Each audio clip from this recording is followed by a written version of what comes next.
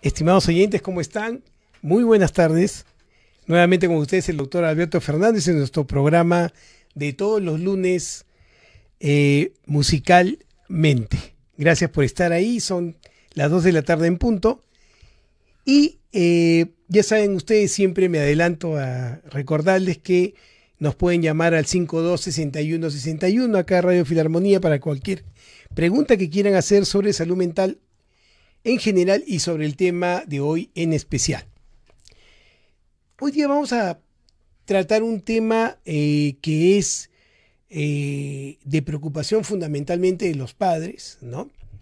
Y que muchas veces nosotros eh, responsabilizamos al entorno de esta condición en la cual pueden entrar nuestros hijos, sobre todo en edad adolescentes y predominantemente las niñas, aunque Hoy se está viendo que la estadística muestra eh, que cada vez más eh, adolescentes varones entran en esta condición conocida como anorexia nerviosa, que la gente coloquialmente conoce como anorexia.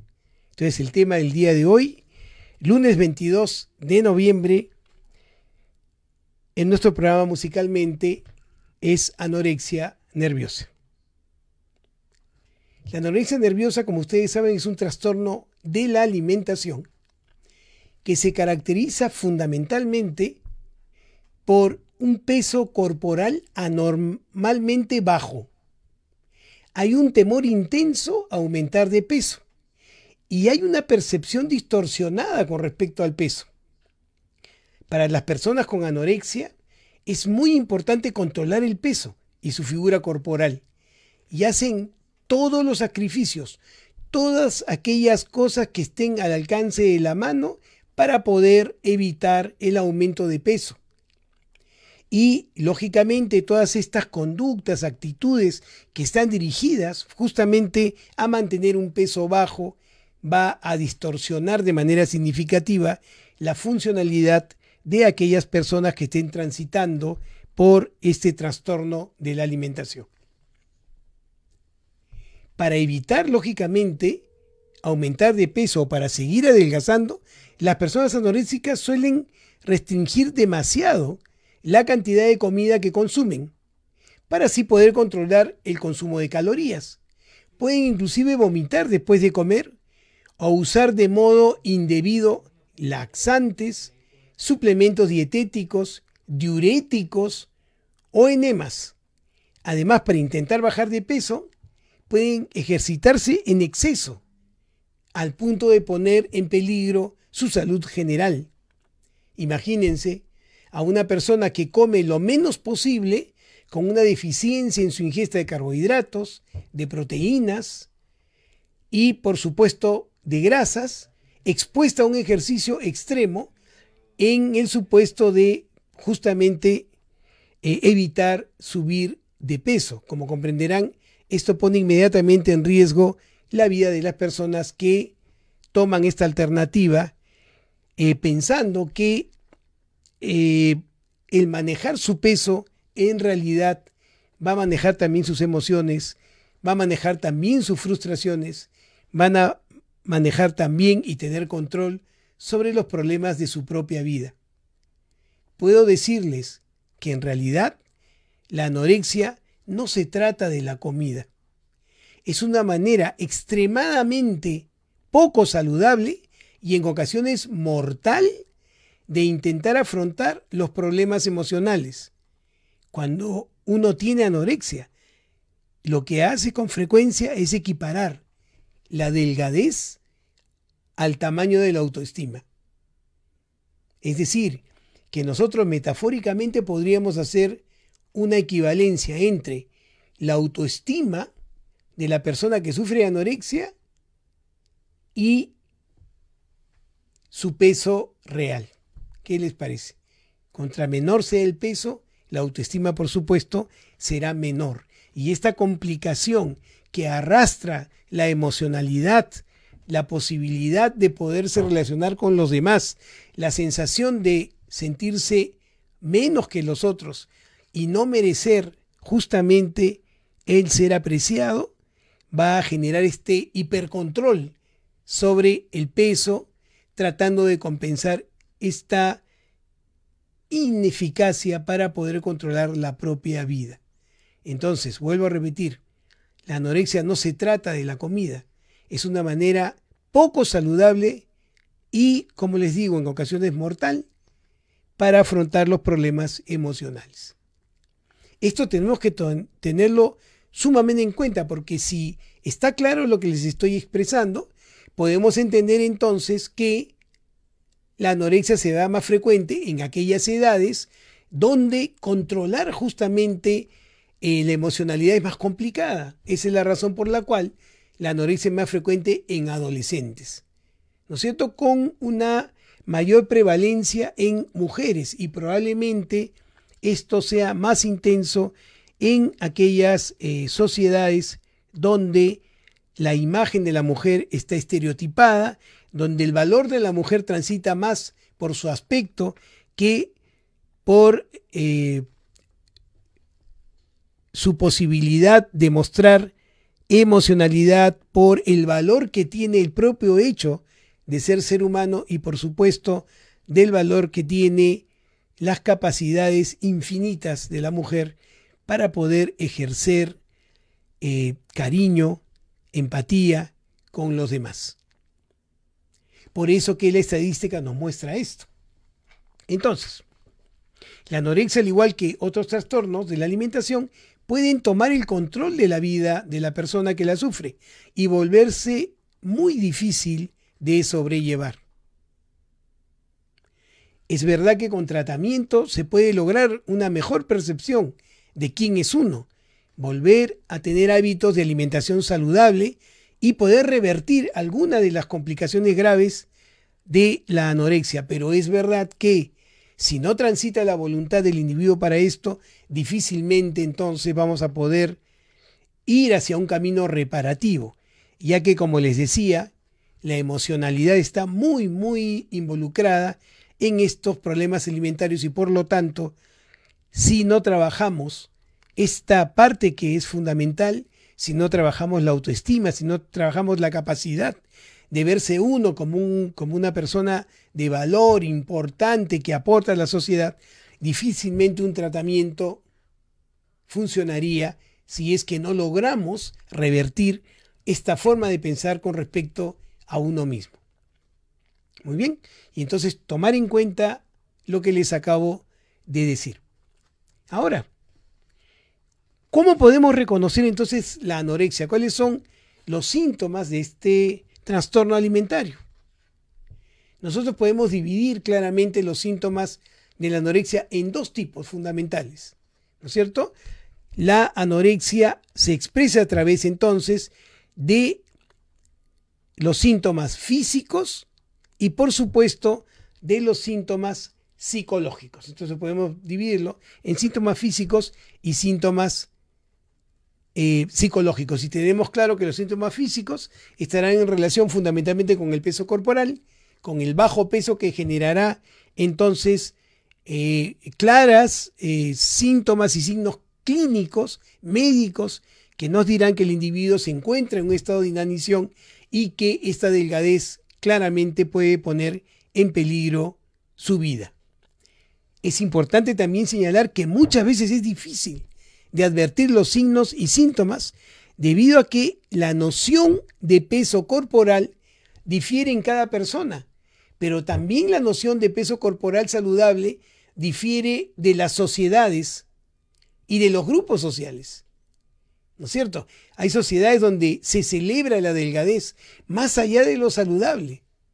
Por lo tanto, vamos, va a depender mucho de cuál sea la conceptualización de salud y de peso adecuado del medio donde el individuo se va a desarrollar para tener una idea clara de la percepción de que si estamos o no en un peso saludable. Miren ustedes qué importante resulta siendo la sociedad, el entorno, para tener claro si es que estamos en riesgo de pasar por un trastorno de estas características. Y lo otro que es importante es que usualmente el paciente con este trastorno alimentario, el paciente con anorexia, no tiene conciencia de su propia enfermedad. Es decir, no puede calibrar en realidad cuánto está poniendo en peligro su vida.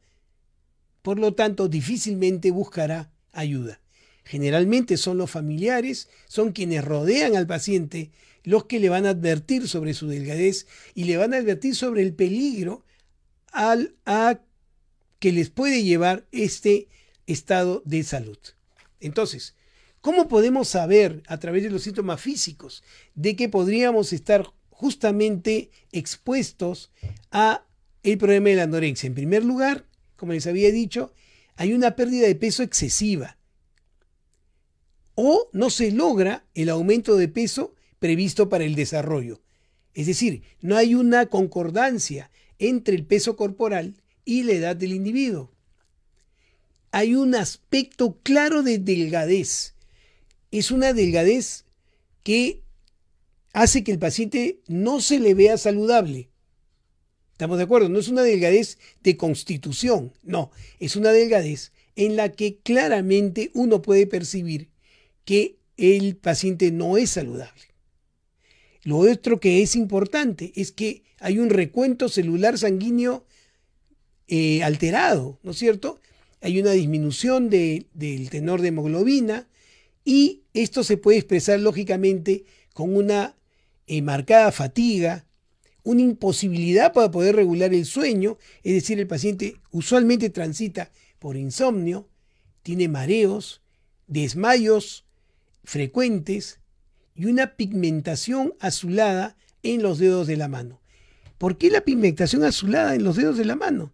Justamente porque al no haber una cantidad de hemoglobina adecuada, correcta, recuerden ustedes, la hemoglobina es la molécula que va a transportar el oxígeno a los tejidos, aquellos eh, eh, procesos eh, que están en relación a la oxigenación, ¿no es cierto?, no podrán cumplir con esta función y entonces comenzaremos a tener un color eh, azulado en la piel que nos indica que esta zona no está siendo oxigenada adecuadamente y lógicamente primero se expresará en los miembros más distales, ¿no es cierto? En los dedos, como les digo, de las manos o los dedos de los pies.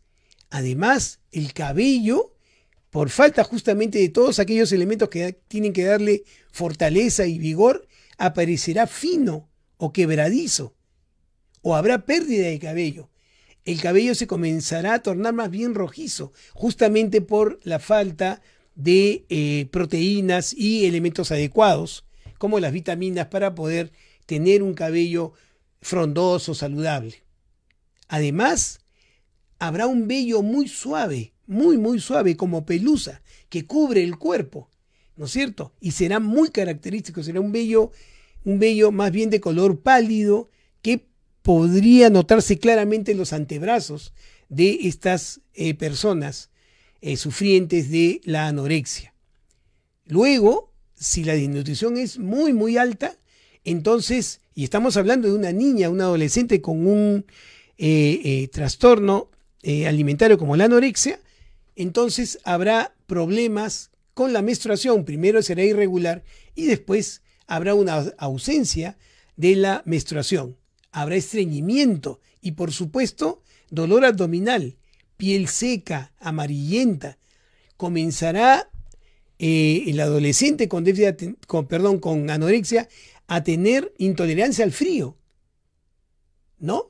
O su capacidad de poder regular la temperatura será complicada. Entonces a veces van a poderla, van a poder ver esta persona, ¿no? En cuando hace frío, de repente con eh, vestimenta corta, o cuando hace calor muy abrigado. Entonces hay una imposibilidad, como les digo, de poder controlar la temperatura.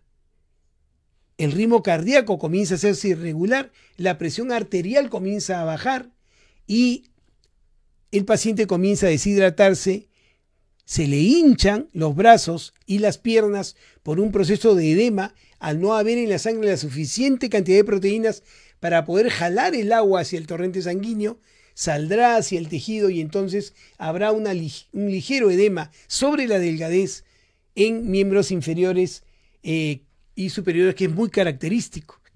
Y además, lo que es muy, muy frecuente es la erosión dental. ¿no es cierto? Y las callosidades en los nudillos por la provocación de vómitos. Y entonces claramente ustedes ven que los síntomas físicos están relacionados directamente con el cuadro de desnutrición que genera la anorexia, ¿no es cierto? Entonces, estamos en esta dificultad, estamos en una sociedad donde eh, el sobrepeso no se tolera, ¿no? Este, inmediatamente sobrepeso se va a relacionar con descuido, el sobrepeso se va a relacionar con eh, una falta de cuidado personal, pero sin embargo la extremada delgadez no es calificada así y como les decía es aprobada y muchas veces eh, el paciente ante esta conceptualización ¿no? lo que hace es reverberar el problema al sentirse aprobado con la delgadez. Y recuerden ustedes, estamos en un país donde tenemos la mala costumbre de saludarnos haciendo referencia a nuestro aspecto, fundamentalmente. Nos encontramos con un amigo que hace años que no vemos y decimos, hola hermano, qué gusto verte y qué viejo estás. ¿No?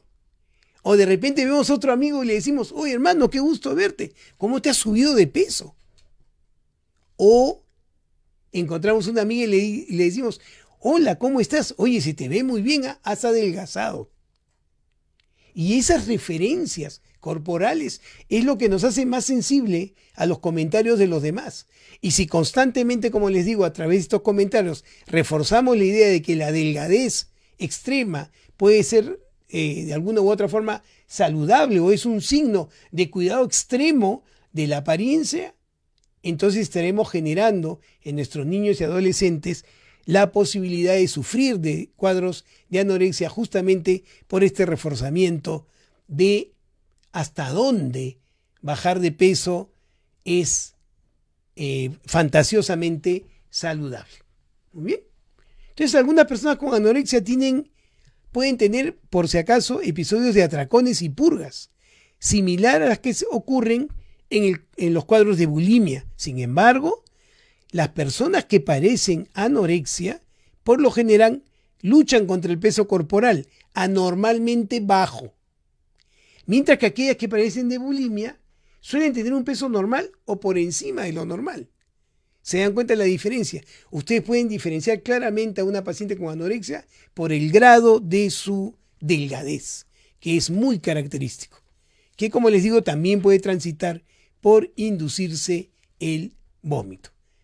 ¿Estamos de acuerdo? Ya saben ustedes, estamos en nuestro programa musicalmente. Soy el doctor Alberto Fernández. Hoy lunes 22 de noviembre en nuestro programa musicalmente pueden llamarnos al 512-6161. Como les decía, el tema de hoy es anorexia.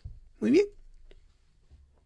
Entonces, habíamos hablado de los síntomas físicos de la anorexia que, como les decía, está relacionado directamente con la desnutrición, con la inanición que genera el hecho de no alimentarse adecuadamente. Pero además hay síntomas emocionales y conductuales en la anorexia.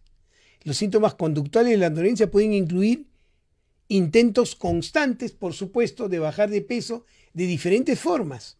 Y entonces yo puedo restringir estrictamente la ingesta de alimentos mediante dietas o ayunos prolongados inclusive. Hacer ejercicios de forma excesiva.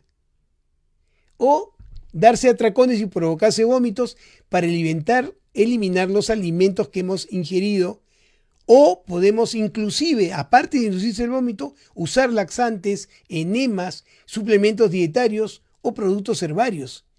Inclusive hay pacientes que en el extremo de la anorexia pueden parasitarse, escúchenme bien, parasitarse intencionalmente para bajar de peso. ¿Se imaginan? Eso significa ingestar huevos de parásitos para que los parásitos generen desnutrición. Miren ustedes a qué extremo se puede llegar cuando se tiene esta enfermedad, este trastorno alimentario que se conoce como anorexia, cuando el síntoma fundamental es bajar de peso y mantener un peso por debajo de lo normal. Entonces, aparte de estos síntomas conductuales que están en relación con mantener el peso bajo, tenemos también otros síntomas emocionales que son importantes. Primero, hay una preocupación por la alimentación que a veces incluye cocinar comidas elaboradas para los demás, pero no comerlas. ¿Se imaginan? Es un chef que prepara comidas elaboradas, pero no la prueba. Saltar comidas o rehusarse a comer con frecuencia. Es decir, tratar de comer la menor cantidad de veces posible. Negar el hambre o tener diferentes excusas justamente para no comer. O comer solo unos pocos alimentos seguros, por lo general, con bajo contenido de grasa y calorías. ¿No es cierto? Entonces uno puede comer una verdura en poca cantidad, un apio, por ejemplo, que es seguro para el paciente porque entiende que eso no le va a subir de peso porque no tiene grasas, no tiene carbohidratos. También el paciente con anorexia puede de alguna forma adoptar rituales rígidos en los cuales las comidas y la alimentación, por ejemplo, eh, son parte de ese ritual. Por ejemplo, escupir la comida después de masticarla. Es decir, uno la saborea, pero no la ingiere, la escupe. ¿No es cierto? Y así goza del sabor de la comida, pero tiene eh, la idea de que de esta forma no va a engordar. No querer comer en público también puede ser una característica. Mentir sobre la cantidad de comida que, que se ingirió. Nosotros hemos tenido muchas veces, muchas veces, pacientes en la consulta con anorexia, cuando viene la madre con la hija y la madre nos dice, doctor, no come nada. Y le dije, pero si mamá he tomado desayuno, he tomado desayuno contigo, ¿no es cierto? Y la madre dice, pero solo, solo has comido un apio con una tajada de tomate. Le dice, pero he tomado desayuno, dice ella, ¿no? Y además es son saludables las verduras.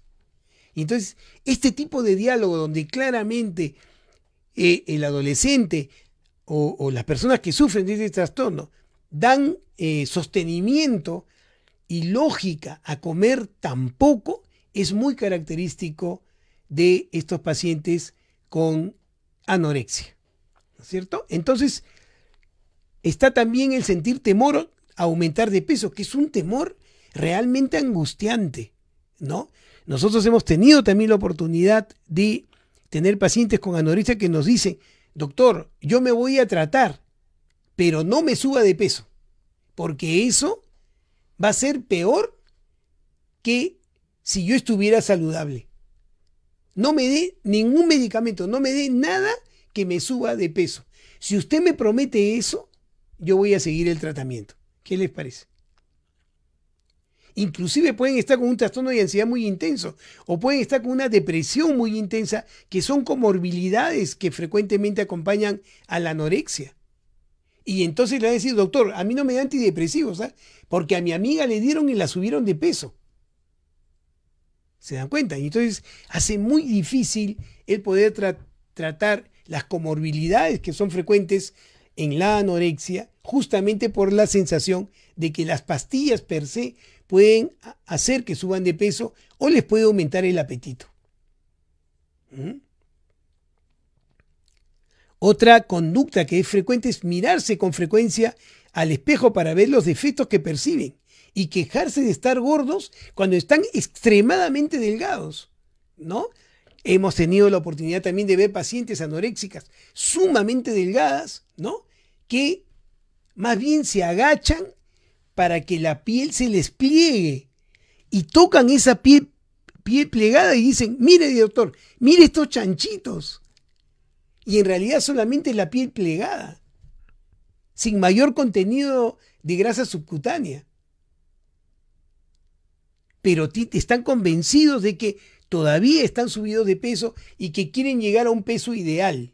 ¿No es cierto? Deben haber escuchado ustedes constantemente que muchas eh, pacientes con anorexia piensan que su peso ideal es 45 o 40 kilos, sin considerar peso, sin considerar constitución, sin considerar talla, sin considerar características raciales. Como si todos los seres humanos podríamos eh, sobrevivir con 40 kilos o que esos 40 kilos resultan siendo saludables para todos como un estándar, cuando sabemos que eso claramente no es correcto. También entonces está cubrirse. Cuando el paciente con anorexia comienza a darse cuenta de que llama la atención, de que todo el mundo la critica, de que todo el mundo está pendiente de su peso, que por, por su delgadez los obligan a comer o genera preocupación, van a optar por vestirse con varias capas de ropa para aparentar eh, una, un peso, aparentar una constitución que no tienen. ¿No es cierto? Lógicamente, ante, ante tanta crítica, ante tanta observación por cómo se le ve, estos pacientes van a tender al retraimiento, a la irritabilidad y, como hemos dicho anteriormente, al insomnio. Por lo tanto, una de las características fundamentales de estos pacientes va a ser también perder el interés por las relaciones sexuales. ¿Se dan cuenta? Entonces, todo está dirigido tanto desde la salud general hasta los problemas psicológicos en, primero, tener un desprecio real, aunque no consciente, de la salud. Tener una percepción de que más bien estar en un trastorno de este tipo, estar enfermo, ¿no es cierto?, justifica conductas. Tres, el tratar de no llamar la atención cuando paradójicamente lo hace por su delgadez. Y todo esto estará en relación entonces, como les había dicho anteriormente, con una baja autoestima, muy baja autoestima, una emocionalidad que no le permite al paciente apreciarse en su verdadero valor como ser humano. Entonces, hay que tomar esto en cuenta. Yo me imagino que para los padres debe ser sumamente complicado cuando se enfrentan a este tipo, justamente a este tipo de problemas, y hay una negación absoluta de la hija, del hijo, justamente porque no hay conciencia de este proceso. ¿No? Y les cuento algo más. Muchas veces pasa que las, los padres de familia se preocupan más por el sobrepeso que por la pérdida de peso de los hijos, sobre todo de las hijas. Y entonces en su crecimiento constantemente son señaladas si es que eh, no están en el peso que, la, que los padres, la madre considera ideal, llamarle la atención. ¿No? Mira, claro, porque comes así, porque comes así. No puedes comer esto, no puedes comer tal cosa. Mira cómo tu compañera fulana es líder del grupo porque es delgada. Y a ti no te aceptan porque estás subida de peso. Y entonces todo este problema que comienza a ahondarse en el colegio, porque en los colegios también hay este modelaje de delgadez y de bajo peso como un signo de belleza, se expresa también en la casa, por los propios padres muchas veces. Y entonces, al entrar en este círculo que es imposible de romper, porque está a todo nivel, ¿no es cierto? Es en mi colegio, es en mi casa, es en la familia. ¿Cómo entonces vamos a poder ayudar a estos pacientes cuando estén al borde de la muerte por cuadros de, de nutrición severos? ¿Se dan cuenta? Cuando en su mente están en la mejor de las posibilidades, están en lo que ellos y todo el mundo quieren, ¿no es cierto? Un peso exageradamente bajo con una desnutrición galopante. Entonces, a tener cuidado, mucho cuidado con esto. Muy bien. Ya saben ustedes, estamos en nuestro programa musicalmente, estamos esperando sus llamadas al 512 61 61 hoy lunes 22 de noviembre. Y entonces, ¿cuáles podrían ser las causas de la anorexia? Tenemos en primer lugar que hay factores biológicos importantes, ¿no? Aunque no se tiene claro si realmente hay un constructo genético que podría estar involucrado en este proceso, ¿no? Pareciera que la tendencia para sufrir de anorexia está más en relación a los factores ambientales que a la propia heredabilidad, es decir, al antecedente de personas con anorexia, familiares cercanos, padres, etc. ¿Por qué? Por todo lo que les acabo de señalar, por esta exigencia de la delgadez como un símbolo de belleza o de cuidado personal. Por lo tanto, los factores psicológicos van a ser fundamentales. Si yo, por ejemplo, es muy común tener adolescentes y adultos jóvenes con anorexia por tener un temperamento, una personalidad más bien obsesiva, donde todo es rígido, ¿no es cierto? Soy rígido para el trabajo, soy rígido para comer, soy rígido para cumplir con mis labores. Por lo tanto, esta tendencia a la extrema perfección va a generar juntamente un hipercontrol, no solamente sobre la alimentación, inclusive también sobre el funcionamiento de mis esfínteres. Es decir, la hora de defecar, la hora de miccionar. Esto aunado justamente a el régimen alimentario. Y entonces cumpliré estrictamente con aquellos parámetros que he podido de alguna u otra forma eh, eh, adoptar en relación a mi entorno, en relación a la expectativa de la sociedad con respecto a mi peso, y entonces comenzaré a perder peso de manera sostenida con la idea obsesiva de que por supuesto estoy en el peso correcto. Entonces es muy común encontrar pacientes con anorexia, con una personalidad obsesiva o con un trastorno obsesivo compulsivo donde la perfección va a ser la característica de ese pensamiento. ¿No es cierto? Y, como les había dicho, el entorno, ¿no es cierto? Hay una valoración positiva con respecto a la delgadez más que con respecto a estar en un peso ideal. Y como ustedes saben, es sumamente difícil hablar de peso ideal, ¿no es cierto?, cuando el parámetro de ese peso está en relación a cómo a uno le va a quedar mejor la ropa, cómo uno va a tener mayor éxito, porque entre comillas todo le queda bien cuando uno ve los concursos, eh, perdón, ve uno la exposición de moda y ve que los modelos caminan casi, casi en un equilibrio precario por su delgadez. Y uno los ve asombrados y dice, mira, qué belleza, cuando en realidad se exige justamente un peso sumamente bajo para, para resultar ser un perchero del saco, son ser un perchero del vestido, para que el vestido se luzca por encima de la modelo o por encima del modelo. Y entonces nosotros veremos eso como maravilloso, porque todo eso va a estar rodeado de qué? De luces, de admiración, de fotógrafos, de periodismo. ¿No es cierto? Entonces yo diré, quiero ser así, para que me acepten. Quiero ser así para mejorar mi autoestima. Quiero ser así para que todos me quieran. Cuando claramente el aspecto físico en realidad resulta siendo secundario cuando la capacidad empática es lo más importante. Y entonces, ¿cuáles son los factores de riesgo para hacer anorexia? En primer lugar,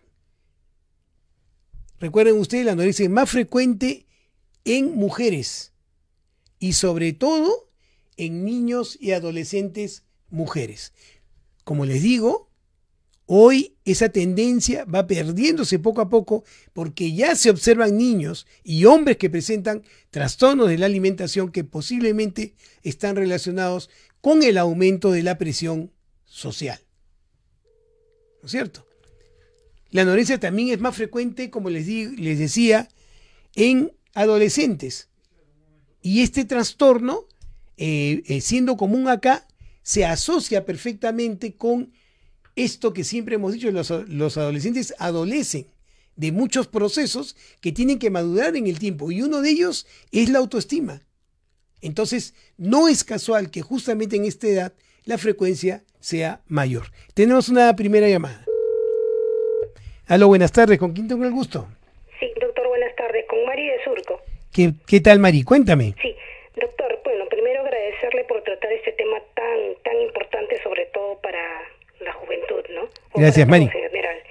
Y mi pregunta es, ¿qué podemos hacer con, es, con las, bueno, las jóvenes que se rehusan a ir al doctor, que se rehusan a tomar medicación? ¿Podría, eh, digamos, se podría eh, aplicar la cura del sueño?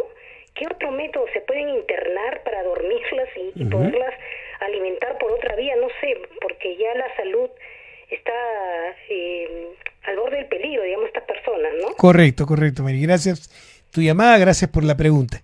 Efectivamente, ¿no? Efectivamente, eh, nosotros tenemos serias dificultades con respecto a, a las pacientes o los pacientes con anorexia que, como bien dice Mari, ponen en peligro su vida, ¿no?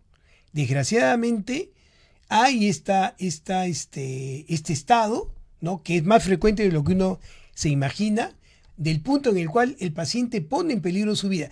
¿Y saben qué es lo, lo, notorio acá?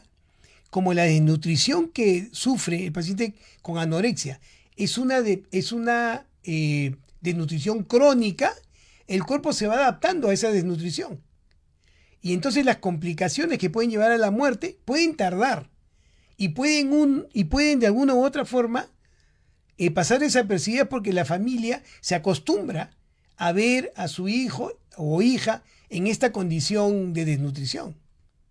¿Estamos de acuerdo? Entonces, cuando el paciente está en peligro y no hay forma de convencerlo de que sea tratado, muchas veces hay la necesidad de hospitalizarlo para poder compensarlo desde, el punto de vista de la salud general. Y en realidad cuando llega este proceso, el paciente está tan disminuido el paciente está tan, eh, eh, tan desconectado con respecto a su salud general que se, prácticamente es llevado a la clínica sin mayor eh, oposición porque ni siquiera están en la condición de poder mantener la alerta. Y entonces acá es donde el tratamiento prioritario de medicina interna va a ser fundamental para que el paciente rápidamente eh, recupere sus recursos metabólicos, proteicos, vitamínicos, para poder alejarlo de la posibilidad justamente de morir. Lamentablemente cuando el paciente inmediatamente se conecta, se quiere ir de alta y en realidad no hay forma de obligar a un paciente que se quede en una clínica, sea cual sea la característica de la clínica, si es que se opone a ello.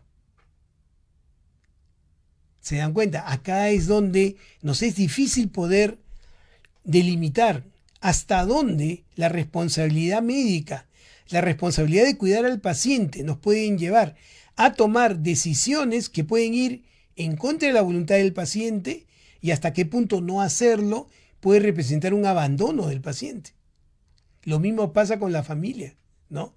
Si yo tengo a una hija que tiene 32 años y veo claramente que está al borde de la muerte por problemas de salud y ella no se quiere tratar, ¿qué puedo hacer yo para obligarla, entre comillas, a ir a tratarse del proceso? Entonces, no tenemos que llegar a este extremo si es que nosotros tenemos la capacidad de poder observar que estos síntomas se están instalando y podemos tempranamente intervenir para poder evitar estos pronósticos tan malos. Porque como les digo, en este punto es muy difícil poder obligar a alguien a que se hospitalice. Entonces hay que tomar en cuenta esto que les estoy diciendo porque llega un punto en que ya no hay un manejo mayor si es que hay una oposición claramente eh, eh, em, eh, transversal que nos evita o nos impide poder intervenir a nivel familiar, ya que el paciente no tiene capacidad para poder darse cuenta del peligro en el cual se encuentran. ¿Por qué? Porque lo que más le va a aterrorizar inclusive no es morir, no es que piensen en la posibilidad de que vayan a morir. Lo que les aterroriza es subir de peso. Eso es mucho más importante para estos pacientes que cualquier otra cosa.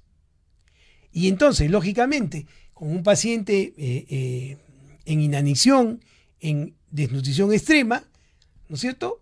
Va a comenzarse a complicar en el tiempo de su salud general. Entonces comenzará a tener problemas de anemia, problemas cardíacos, fundamentalmente prolaxo de la válvula mitral, ritmos cardíacos anormales, justamente por esta imposibilidad, como les decía, de poder mantener un flujo sanguíneo adecuado, una hemoglobina adecuada, una oxigenación adecuada.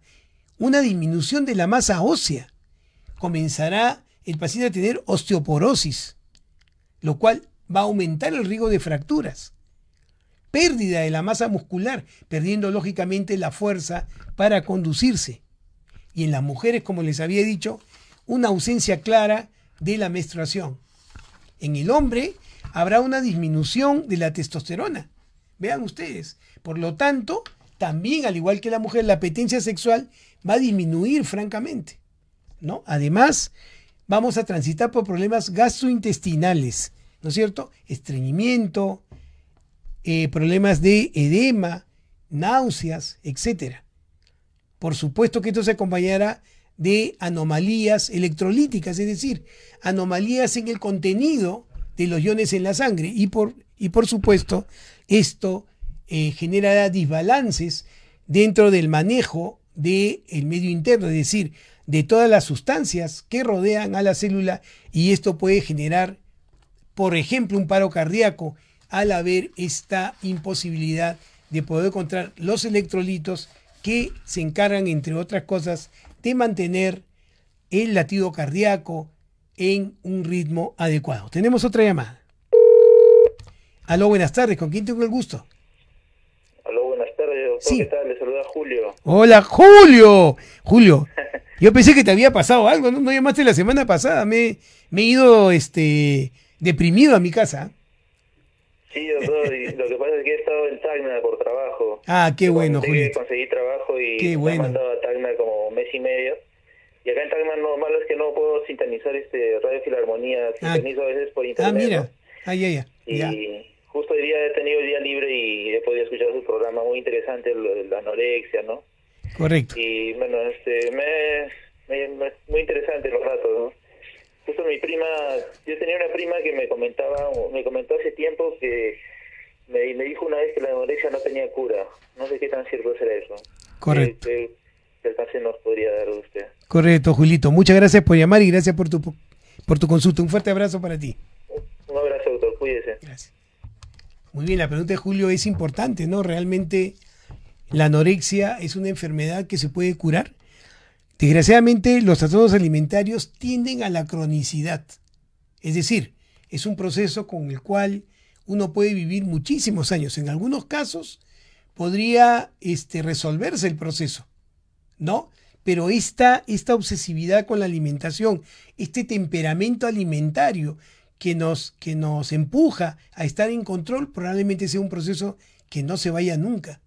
No, pero la enfermedad per se sí podría eh, colapsar sus síntomas y hacer que uno viva ¿no? de manera funcional, eh, eh, a pesar de vivir en el, en el peligro de que podría el cuadro regresar. ¿No es cierto? Entonces, y ustedes me preguntarán, ¿cómo prevenir la anorexia?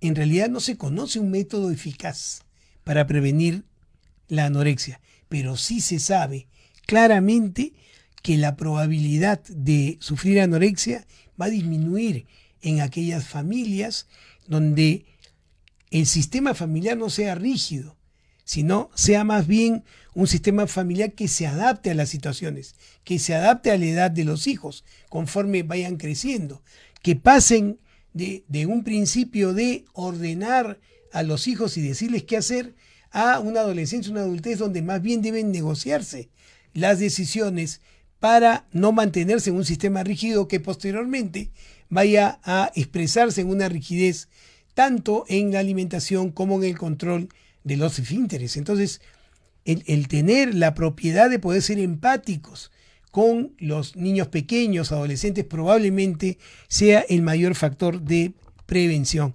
Tenemos otra llamada. Aló, buenas tardes. Ah, buenas tardes, ¿con quién tengo el gusto? Doctor, buenas tardes. Habla Juana Rodríguez. Hola, Juanita, cuéntame, ¿cómo estás? Doctor, muy interesante programa. Como yo le acabo de escuchar, ¿no? Que desde la casa viene la educación, ¿no? Así es.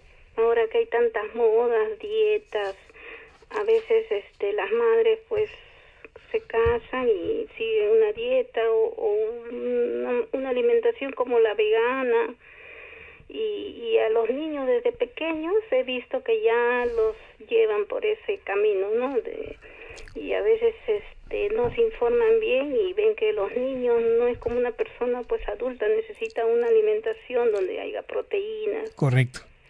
Correcto. Mm, entonces yo pienso que también este debe haber una educación, ¿no? De informar y ya pues cuando ya los chicos crecen, ya crecen desnutridos porque ellos necesitan una alimentación también animal porque ahí es donde uno este eh, coge pues lo que es el, hierro no correcto correcto entonces este claro. yo pienso que la inteligencia emocional es lo que debemos de incentivar y hacer que muchos padres este el ejemplo no a sus niños este eh, los lleven por la por eso por la autoestima que usted mucho ha recalcado. Así es, Juanita, totalmente de acuerdo. No no hay que no hay que pensar que en realidad los niños son adultos pequeños, ¿no es cierto? Los niños son niños, los adolescentes adolescentes y tienen necesidades diferentes y eso hay que tomarlo en cuenta. Por eso les decía que era importante que la familia no se rigidice en, en un sistema en el que todos los procesos son verticales, se obedece y se acabó cuando en realidad hay que ser flexibles y entender a cada hijo en su propia forma de ser, en su propia característica, en su propia dinámica con la familia y tener una diferenciación clara para poder posteriormente darle la posibilidad de adaptarse socialmente. Eso es sumamente importante, Juanita. Muchas gracias por tu llamada. hasta luego. Chao, Juanita. Muy bien, entonces hay que tener en cuenta esto, ¿no? Eh, tenemos una pregunta, miren ustedes, eh, Elizabeth nos, nos comenta, eh, perdón, Gina nos comenta, ¿cómo se combate el sobrepeso? Ah, es la primera pregunta que, hace, que me hace Gina. ¿Cómo se combate el sobrepeso? ¿No? Y miren que el tema es anorexia, o sea que Gina está, está preocupada por el sobrepeso. Muy bien. En realidad el sobrepeso usualmente es producto de una mala higiene alimentaria. ¿no es cierto? Y eh, en sociedades como la nuestra, donde la comida es parte de la celebración, la comida es parte también de afrontar los problemas, la comida es parte también de la reparación de las tristezas, ¿no es cierto? Es complicado poder tener una higiene eh, alimentaria adecuada. nuestra base eh, de la alimentación en el Perú, nuestra comida criolla tiene un contenido de carbohidratos sumamente alto, ¿no? Entonces no es casual que cuando uno va a comerse un menú, que creo que no hay menú feo en el Perú, todos son deliciosos, por supuesto, ¿no? Veamos, menú, ¿ah? Eh, entrada, papa a la huancaína. Segundo, ají de gallina, ¿ah? Y de postre, eh, eh, un, flan, por supuesto, acompañado de su pan. ¿Ah? ¿Qué les parece? Y entonces nosotros vemos, mira, ¿no? Papa la huancaína. ¿Qué tiene la papa la huancaína? Papa, pues. ¿Y la huancaína cómo se hace? Bueno, algunos lo, lo hacen con galleta, con galletas, ¿no? Con harina. Entonces es harina más harina. ¿Y cómo se hace el ají de gallina? Muy parecido, ¿no es cierto? también con harina. ¿Y el arroz qué es? También carbohidrato. ¿Y el pan? También carbohidrato. ¿Dónde está la proteína? En las hilachitas. en las hilachitas del ají de gallina, pues. Porque no podemos pretender que en un menú, los menús son económicos en Lima, ¿no? Haya pues una pierna de pollo en hilachas o un, o un pecho. No, hay unos hilitos. Y entonces nuestra comida tiende a ser muy alta en carbohidratos. La idea es que nosotros podamos tener una dieta balanceada. La dieta es fundamental para poder mantener un peso adecuado. Y podíamos transitar en una primerísima regla, mi querida Gina, no mezcles los carbohidratos. ¿No? No mezcles los carbohidratos. Si vas a comer arroz, mejor no comas papa. ¿No? No las combines. Porque es carbohidrato más carbohidrato. Nosotros tenemos una visión simple en nuestra alimentación diaria. Un carbohidrato, una proteína, por supuesto, y vegetales, probablemente mantengamos el peso sin mayor esfuerzo. ¿no? Ahora, si a eso le, le aunamos ejercicio, Ya la hicimos, definitivamente. Pero yo sé que es complicado, ¿ah? no les voy a mentir. Imagínense, el día domingo me voy a un restaurante criollo y no me voy a comer mi ají de gallina. ¿Se imaginan? ¿Ah? O mi tacutacu a lo pobre. ¿Ah? Con su plátano frito. Está complicado, ¿no? Pero hay que cuidarse. Hay que cuidarse porque la salud es, es fundamental, mi querida Gina. Pero, nos dice Elizabeth, los estereotipos influyen altamente en los adolescentes. Por supuesto, estamos totalmente de acuerdo. Y vean ustedes, nos está pasando ahorita, ¿no? Cuando uno ve eh, la música eh, eh, más bien de origen norteamericano, ven ustedes que los artistas son diferentes, ¿no? Diferentes pesos, tallas, diferentes características raciales. Pero hoy, por ejemplo, está entrando con mucha fuerza la, este, la música más bien y la cultura asiática, ¿no es cierto? Donde uno ve a los, a los cantantes y son delgados, sumamente delgados y nos es difícil diferenciar inclusive su edad, ¿no? Y entonces eh, se vende también este proceso de que, eh, bueno, la delgadez y, está en relación con la popularidad y con el éxito. Entonces es muy complicado que, lo que los estereotipos no comanden inicialmente eh, los requerimientos de los adolescentes para lograr el éxito social. ¿no es cierto? Entonces hay que tomar en cuenta esto. Pilar nos comenta, eh, yo he visto jóvenes con anorexia que les aceptan inscripción en el gimnasio y no tienen guía de ayuda, de ayuda y según yo se les debe dar un apoyo porque se pueden descompensar. ¿Y qué responsabilidad hay en los gimnasios? Mi querida amiga, tu observación es absolutamente correcta, Pilar. Pero el gimnasio es un negocio. Y contra más inscritos haya, mejor. Y cuanto más tiempo estén inscritos en el gimnasio, mejor. Difícilmente va a haber una, una observación con respecto al estado de salud. Aunque en algunos gimnasios eh, se estipula que cuando se vaya uno a escribir tenga una revisión por lo menos eh, eh, médica para poder determinar el tipo de ejercicio que debería hacer esa persona. Pero desgraciadamente, mi querida Pilar, no es lo común, tu preocupación es, es correcta. ¿No es cierto? Por lo tanto, hay que tener mucho cuidado también con estas actividades. ¿Cuál es el tratamiento médico de la anorexia? El tratamiento médico de la anorexia es totalmente sintomático. ¿Cuándo intervendrá el médico? el, médico va a intervenir primero cuando hay comorbilidades, ¿no es cierto? Que es frecuente en la anorexia. De repente la paciente con anorexia tiene un cuadro depresivo o la paciente con anorexia tiene un cuadro obsesivo compulsivo o un trastorno de ansiedad, entonces ahí la intervención medicamentosa probablemente sea importante, justamente para evitar que este circuito reverbere. Y la otra eh, ocasión en la cual el médico debe intervenir es lógicamente cuando el paciente pone en peligro su vida por su estado, ¿no? Eh, de desnutrición extrema eh, o su estado de inanición. Entonces ahí el médico internista tendrá una función fundamental para poder recuperar el peso del paciente a un nivel en que pueda sobrevivir, ¿no es cierto?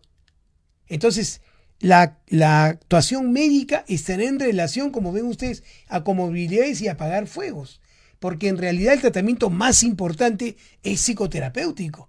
Y esto va a transitar, por supuesto, por una terapia individual para que eh, la persona que sufre este trastorno alimentario pueda justamente darle al origen del problema. Es decir, mejorar su autoestima, su emocionalidad, su capacidad para verse, para verse no solamente sus defectos, sino también en sus virtudes y darse cuenta que estamos en, en una circunstancia donde el poder controlar la empatía y el afecto a través de lo que uno siente y realmente quiere para uno como procesos de bienestar, va a transitar entonces por una terapia psicológica individual que pueda madurar e insertar en estas personas una autoestima adecuada y un manejo de sus emociones productivo. Lo otro dentro del aspecto eh, psicoterapéutico, es la terapia familiar. Porque muchas veces es el contexto familiar el que puede estar condicionando o perpetuando la eh, condición anoréxica de niño o adolescente o niño o adolescente que esté pasando por este proceso. Porque no nos damos cuenta y estamos muy pendientes de que no, nuestros hijos no suban de peso, de que mantengan una delgadez para ser, para ser este, aceptados en los colegios, ¿no? O para poder ser aceptados en los grupos. Y entonces esta combinación sería sumamente adecuada. Y además una terapia grupal. Sería extraordinario comunidades en las cuales aquellas personas que están inmersas en este trastorno alimentario puedan contar de sus experiencias, porque van a encontrar ustedes diferentes niveles de la enfermedad, inicio de la enfermedad, ¿no? pasos intermedios por la enfermedad y por supuesto los pronósticos. ¿Hasta dónde llegó cada uno? ¿Cuándo es que se decidió cortar con este proceso? ¿Por qué me di cuenta que estaba enfermo? Para que el propio paciente, compartiendo sus experiencias, ¿no es cierto?, pueda aprender también de otros y no necesariamente tenga que pasar por todo el proceso para darse cuenta que está frente a un trastorno.